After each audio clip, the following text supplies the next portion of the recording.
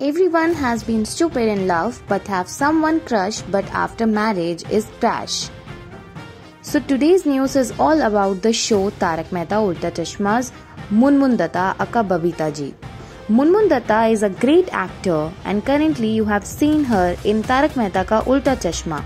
Honestly, there is no doubt the actress plays with her natural beauty. Her looks made her so adorable that in show as well, Jethalal's love towards her is an affection towards the beauty he never looked upon.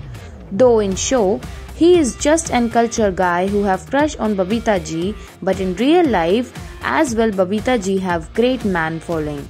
Babita ji aka Munmun Dutta opens up in an interview where she shared that many married guys have crush on her and they adore Munmun.